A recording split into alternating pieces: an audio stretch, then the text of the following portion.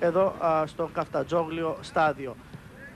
Μια συνεβιασμένη μέρα, ένα συνεβιασμένο μεσημεριάτικο περιβάλλον αυτή τη στιγμή στη Θεσσαλονίκη. Πολύ λίγος κόσμος εδώ στην Θεσσαλονίκη, στην πλειοψηφία τους. Από ό,τι βλέπουμε είναι οργανωμένοι οπαδοί, όπως βλέπετε και εσείς, της Λάρισας.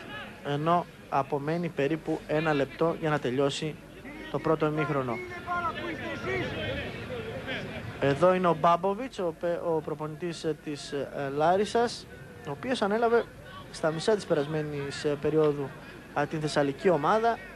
Νομίζουμε ότι συνέβαλε στην αναγέννησή της και εδώ ο Γιάτσεκ Μόχ τα λέει εκεί με τους παίκτες του Πάγκου.